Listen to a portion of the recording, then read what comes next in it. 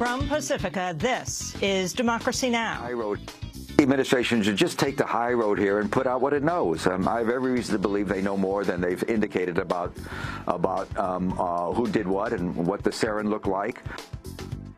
Was Turkey behind last year's Syrian chemical weapons attack? A new expose by Pulitzer Prize-winning journalist Seymour Hersh reveals U.S. intelligence feared Turkey was supplying sarin gas to Syrian rebels in the months before the attack. But that information was never made public as President Obama made the case for war. Then the Rwandan genocide 20 years later.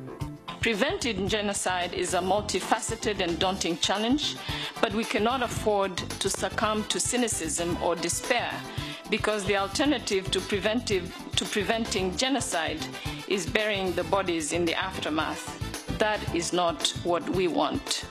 Commemorations are being held in Rwanda today to mark the 1994 genocide that left over 800,000 people dead over a span of 100 days. We'll go to Rwanda and also look at the Clinton administration's refusal to admit it was a genocide. How many acts of genocide does it take to make genocide? Um, Alan, that's just not a question that I'm in a position to answer. True that the uh, that you have specific guidance not to use the word genocide in isolation, but always to preface it with this uh, with this word acts of.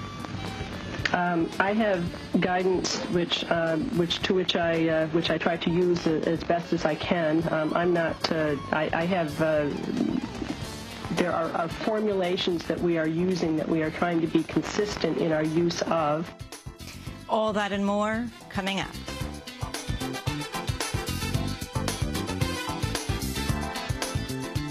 Welcome to Democracy Now!, democracynow.org, The War and Peace Report. I'm Amy Goodman. Protests were held nationwide this weekend urging President Obama to stop the deportation of undocumented immigrants. Thousands of people marched in at least 62 cities. Some activists marked Saturday as the date when the Obama administration likely reached its two millionth deportation. According to the New York Times, two-thirds of those deported under President Obama have committed minor infractions such as traffic violations or had no criminal record at all. President Obama has taken aim at the new Republican budget proposal in his weekly address. Obama said the GOP plan would widen inequality. The Republican budget begins by handing out massive tax cuts to households making more than $1 million a year. Then, to keep from blowing a hole in the deficit, they'd have to raise taxes on middle-class families with kids.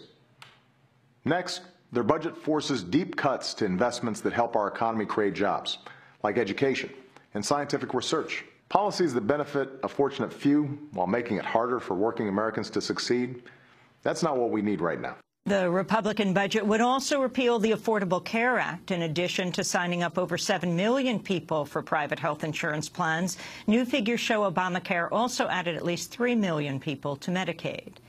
Yemen has issued a temporary ban on U.S. military drone strikes following an attack that killed scores of civilians late last year. The New York Times reports the Joint Special Operations Commander, JSOC, is no longer allowed to wage drone warfare in Yemen after the December strike that killed about 12 people attending a wedding. Despite the ban on the U.S. military, the CIA continues to carry out strikes in Yemen.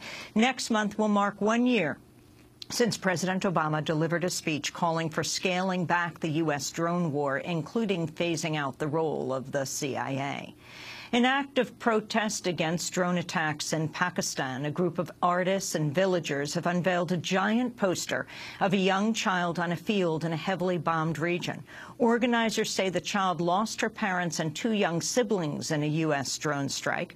Her picture is large enough to be picked up by satellite imagery.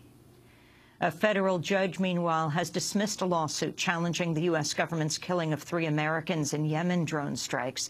The families of Muslim cleric Anwar al-Awlaki, his teenage son Abdurrahman, and of Samir Khan had filed the suit accusing top U.S. officials of unlawful killings. But on Friday, U.S. District Court Judge Rosemary Collyer ruled the victims' constitutional rights were never violated and said the U.S. officials involved cannot be held liable. Despite that ruling, Judge Judge Collyer also added, quote, the powers granted to the executive and Congress to wage war and provide for national security does not give them carte blanche to deprive a U.S. citizen of his life without due process and without any judicial review. Hundreds of pro-Russian demonstrators have seized government buildings in three eastern Ukrainian cities. Some are calling for a referendum to break off from Ukraine and join with Russia, like the one in Crimea last month. The Ukraine government says the demonstrators are trying to spark new military incursions from Russian forces amassed on the border. Millions of people turned out in Afghanistan this weekend to cast their votes in a national election. Eight candidates are vying to replace outgoing President Hamid Karzai. The high turnout came despite threats of violence from the Taliban. Full results are expected later this week. Israel's threatening unilateral action if Palestinians press ahead with statehood moves at the United Nations. The Palestinian Authority applied for membership in 15 international conventions and treaties last week after Israel reneged on a pledge to free Palestinian prisoners. On Sunday, Israeli Prime Minister Benjamin Netanyahu said Palestinian efforts to obtain international recognition, quote, will be answered by unilateral moves on our end, he said.